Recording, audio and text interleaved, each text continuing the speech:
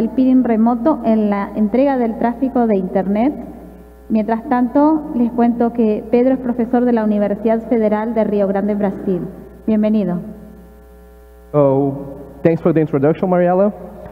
I will be presenting here our Gracias por la presentación. Voy a estar hablando de peering remoto. Es un trabajo conjunto que hicimos con muchos colegas de, con la Universidad de Río Grande do Sul y la Universidad de Londres en el Reino Unido y de Waikato en Nueva Zelanda. También quisiera agradecerle a la CNIC y a Frida por el apoyo al hacer esta investigación. Les voy a decir algo que ustedes probablemente ya lo sepan, y es que la entrega de tráfico es un aspecto complejo, cada vez más complejo de Internet hoy. Hay que manejar grandes volúmenes de tráfico y con requisitos de servicio estrictos para manejar eso. Eh, se trata de mejorar la capacidad de interconexión y ampliar su huella. Y una manera de hacerlo es conectarse con los eh, puntos de intercambio porque ayudan a abreviar las vías y reducir los costos del tráfico ampliado. Ahora, ¿por qué, eh, ¿por qué los IXP inicialmente pretendían mantener el tráfico local en las redes que estaban cerca. Esto ya no es así porque tenemos el remote peering que se conecta con los eh, IXP de manera es más rápido y más fácil configurar la conexión, los costos de instalación son más bajos que una red conexión regular a los IXP y también tienen los, requisitos para hacerlo también son menores. De hecho, hay muchos IXP que ponen esa información en su página web diciendo cuántos países cubren. Por ejemplo, Links tiene de 81 países diferentes y con este gran despliegue del peering remoto vemos que hay otra dificultad para hacer ingeniería de tráfico porque algunos de ustedes pueden pensar, bueno, voy a configurar eh, el, tráfico vía el IXP porque tal vez este me, quede más cerca. Pero si hay uno que es remoto de ese IXP, tal vez no sea una buena idea si ese AS es remoto. Y una de las cosas que también hemos identificado es que la comunidad tiene sentimientos encontrados con el remote peering. Hemos visto muchos documentos en Internet que preguntan si realmente es bueno o no el remote peering, el peering remoto. ¿Debemos hacerlo? ¿Es algo complejo para nuestra interconexión? Así que nuestra meta aquí es contribuir con datos para comprender el potencial impacto de peering remoto y voy a estar repasando cinco aspectos distintos en esta presentación. Algunas cosas tienen que ver con redes remotas y métrica del despliego, o sea, algunos aspectos del desempeño, o sea, la latencia y la longitud del AES Path para llegar al mismo prefijo. También investigamos la estabilidad de la sesión de BGP de los AES locales y remotos, porque considerando que los AES remotos usan un sistema para llegar al IXP, así que nosotros comparamos la estabilidad de las conexiones locales y remotos.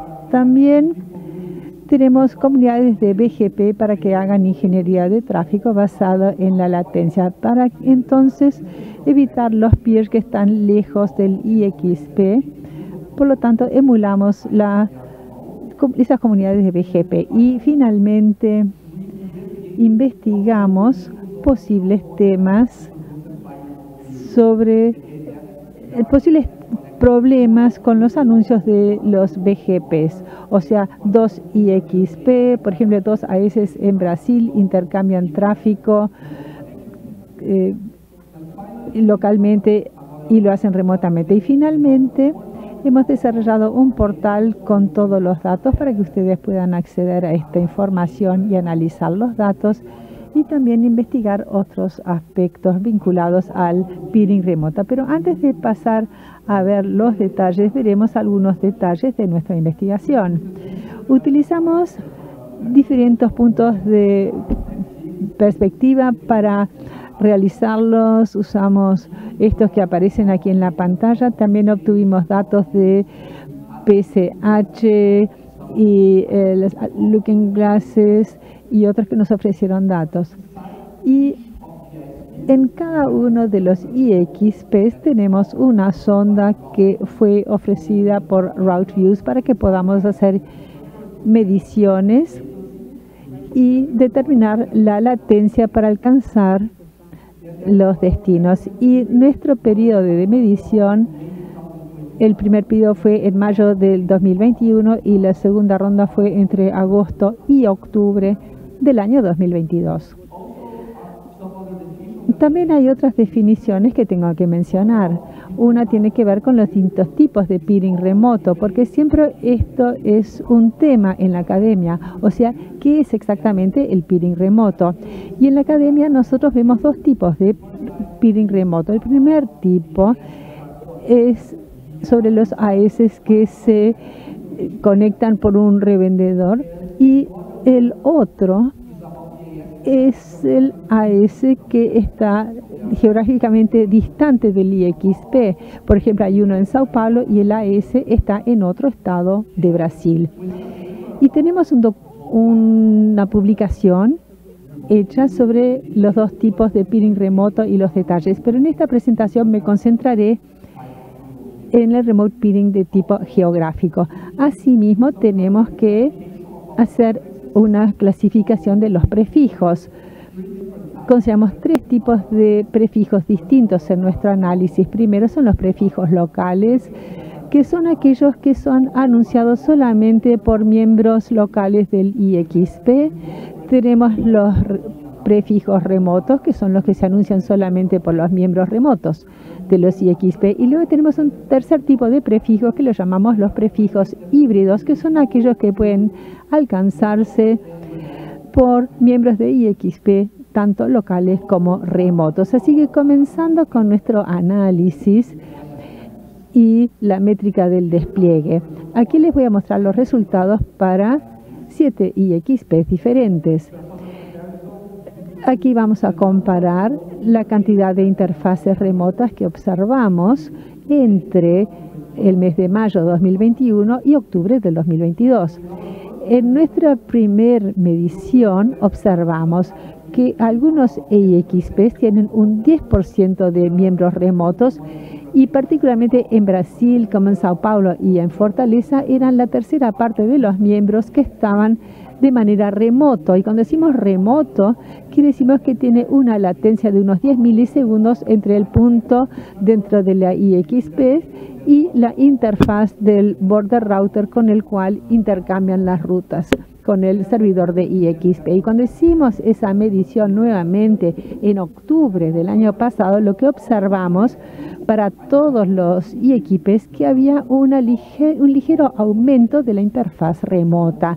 Por lo tanto, parecía que en el plazo de un año y medio, más o menos, hubo un aumento en la cantidad de miembros remotos de esos 7 IXP que ya había mencionado. Y la segunda parte de este primer análisis tiene que ver con la cantidad de prefijos remotos que observamos en esos IXP. Y cuando me refiero a los prefijos remotos, estamos considerando todos aquellos que se anuncian a través de la interfaz remota. Esto incluye los prefijos híbridos, porque los prefijos híbridos también son anunciados por la interfaz remota. Por lo tanto, en la medición inicial para algunos IXPs como en Río de Janeiro o en Chicago, donde había alguna pequeña cantidad de prefijos remotos y en otros casos como en Fortaleza teníamos la cuarta parte de los prefijos que eran prefijos remotos. Cuando hicimos el análisis nuevamente en octubre de 2022, la mayoría de los IXPs, observamos, disminuían en cantidad con respecto a los prefijos remotos. Y para links, por ejemplo, vimos un aumento. Y en el caso de NAP África y en Chicago, si bien la fracción era menor, el número absoluto fue superior. Y aquí lo que nos parece es que disminuyó en la mayoría de los IXPs. Y cuando hablamos con los operadores nos dijeron que por lo general la primera parte de los IXPs lo hacen con conexión remota y luego tuvieron más prefijos y entonces tenían que tener una conexión más estable, por lo tanto, por eso asumimos que hubo una disminución en la cantidad de prefijos. La segunda parte de este análisis se concentrará en los prefijos híbridos, o sea, aquellos prefijos donde tenemos la capacidad de alcanzar una interfaz local y otra remota, pero vamos a verificar cuáles son más rápidos, porque por lo general la gente piensa, bueno, si es remoto es más rápido, pero no es el caso. Aquí les voy a mostrar los resultados para estos cuatro IXPs diferentes, Link M6, Ashburn y Chicago. En nuestra primera parte diapositiva teníamos el número de prefijos híbridos en la primera línea en la primera columna y tenemos cuatro posibilidades distintas para este análisis. Es decir, que el peer remoto para alcanzar ese prefijo tiene una menor latencia comparado con la local, pero un path más largo. O la latencia del local es menor, pero el camino es más largo, o la latencia es menor y la longitud de paz es igual tanto para el peer local y remota. Y la parte más interesante aquí es que en todos los IXPs la alternativa local tiene menor latencia para estos prefijos híbridos, pero la longitud del, del eh, AESPAD es más largo. Así que basado en, la, en el criterio de HP, es, más corto el ASPAD y el que tiene menor latencia, sabemos, no nos informa información sobre la latencia. Pero vamos a hacer comentarios un poco más adelante sobre esto. Luego tenemos el análisis de la estabilidad de las sesiones de BGP. La hipótesis aquí es que la mayor, mayoría de los peers remotos tienen un revendedor entre AES y el IXP.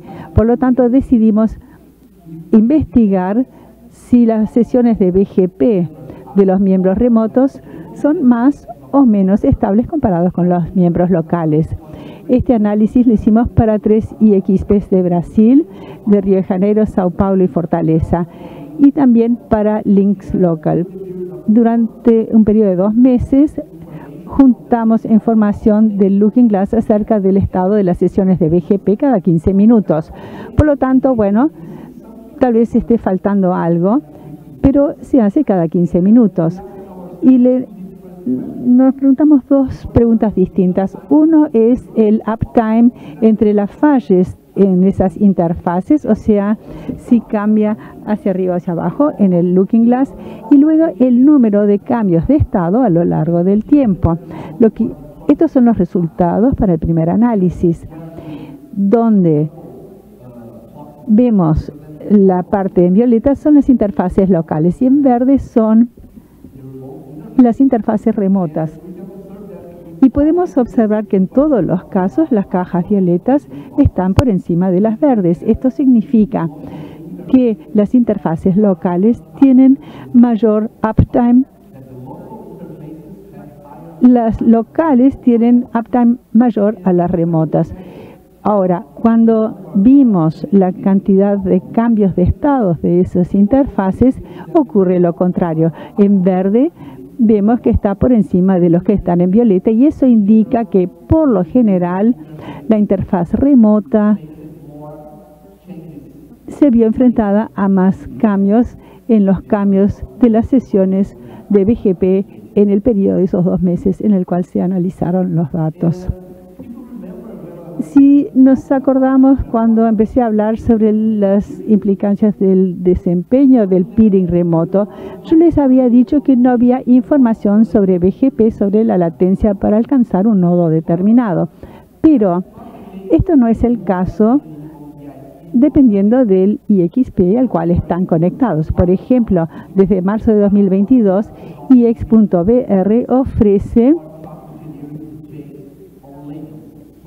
este, la propagación de rutas basada en latencia. O sea, todas tienen un tag con la latencia entre las infraestructuras de IXP y el router de la S.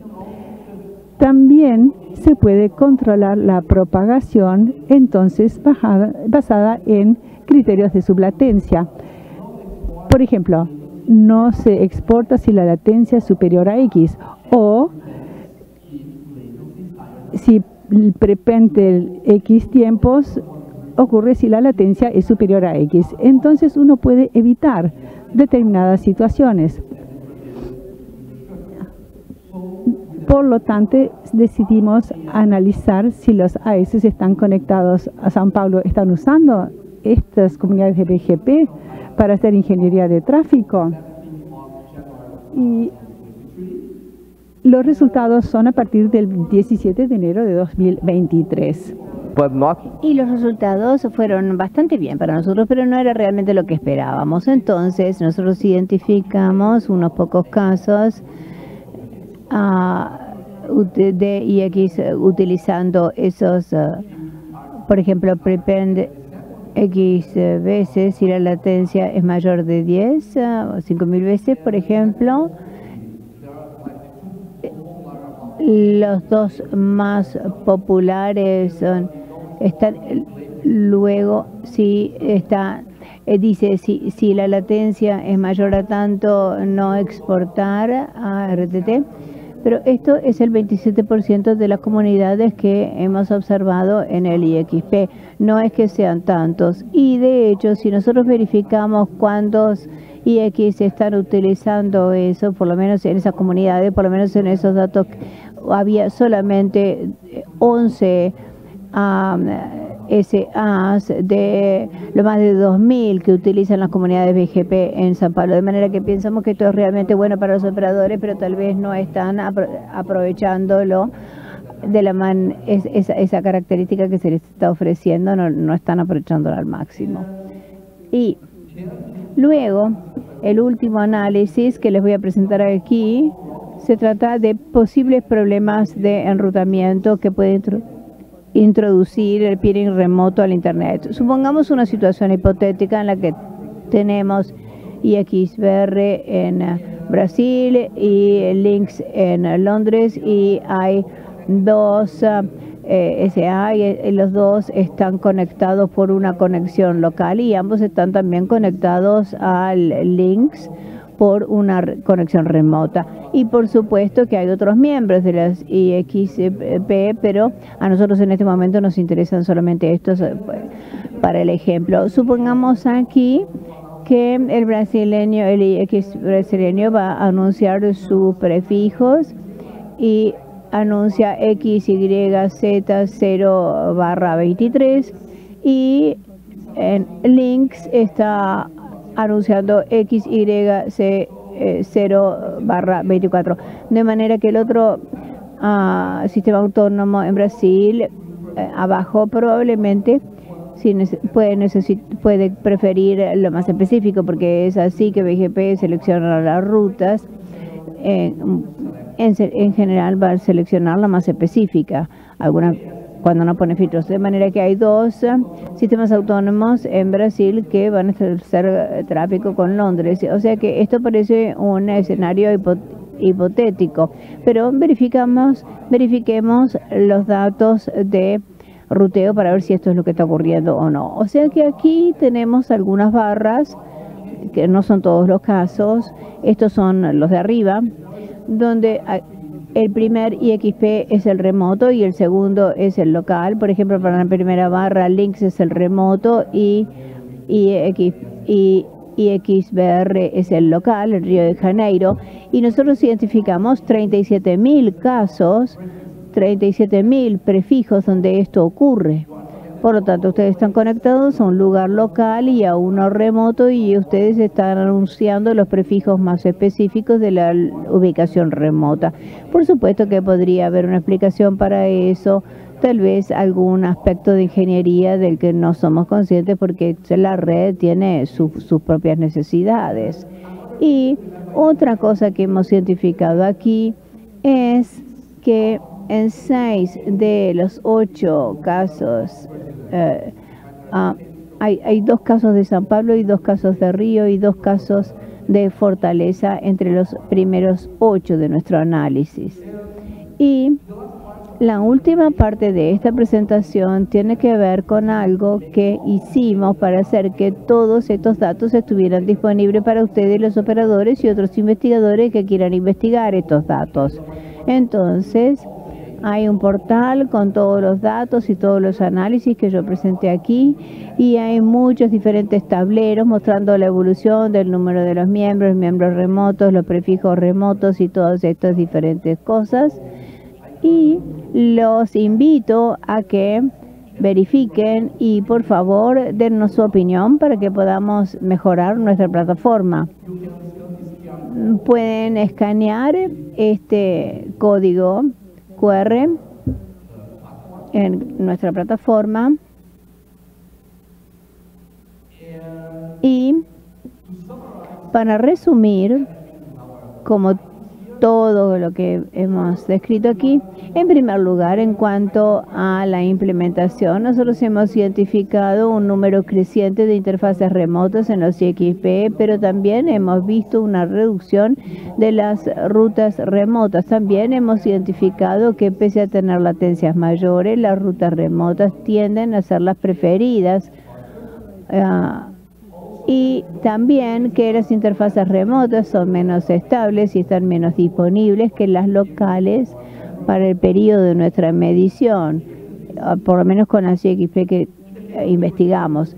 En el caso de eh, el, IXP brasileño, donde tiene la capacidad de agregar a la comunidad para controlar la propagación, hay solamente algunos eh, SA que utilizan esa característica. Identificamos 37 mil posibles problemas en los anuncios de lo decimos que son posibles porque podría haber una razón que lo explique. Y finalmente desarrollamos un portal con todos los datos disponibles para la comunidad y si ustedes quieren ver algunas mediciones de IXP en su plataforma, se, pónganse en contacto con nosotros, solamente necesitamos alguna información de ruteo sobre XP. Y finalmente, nuevamente, aquí tienen ustedes cómo acceder a nuestro portal. Además, tenemos un trabajo con los resultados de esta investigación. Eh, y allí pueden, eh, pueden escanear ese código barra para tener el link y con esto por supuesto hagan las preguntas en español, portugués, inglés, voy a hacer mi mejor esfuerzo posible para comprender español. Gracias Pedro. ¿Alguna pregunta Guillermo? No tenemos preguntas en el Zoom. Ah, mira, tenemos una pregunta en sala. Adelante, por favor. Um, I was thinking about the amount of... Estaba pensando en hasta cuánto se podía optimizar. Ustedes tienen comunidades para agregar uno, dos, tres prepends. ¿No sería mejor tener por defecto un ASN con prepend para cada uno de los peerings remotos y darles una oportunidad de hacer cero prepends? El defecto sería un prefijo más largo pero eso se podría cambiar. No sé si entiendo la pregunta. ¿Estás diciendo que tener una comunidad para hacer prepend de todos los remotos? No. Lo que quería decir es, si el IX hace prepend de los prefijos que entran y que salen para cada una de las conexiones remotas sin hacer nada. Pero si ustedes prefieren que sus prefijos no se les haga prepend, entonces, ah, quieres decir al revés. Sí, para que cada conexión remota sea más larga. Sí, eso. Sí, pero en, cas- en ese caso los IXP tendrían acción de algo que no es responsabilidad del IXP, porque la función del IXP no es tomar decisiones de ruta para otros. Entonces, si el eh, IXP va a ser prepende a todos, va a cambiar la ruta. A ver, tal vez Julio pueda contestarlo. Hola, Pedro. Felicitaciones por la presentación, fue muy interesante. Podríamos hablar un poco más de los detalles, pero yo quería preguntar si has tenido la oportunidad de verificar si la medición horaria de latencia mejora. Si las mediciones nuestras son de acuerdo a las de ellos, no, no lo verificamos, pero podemos hacer, eso nos resulta fácil. Muy bien. Mm, So, there are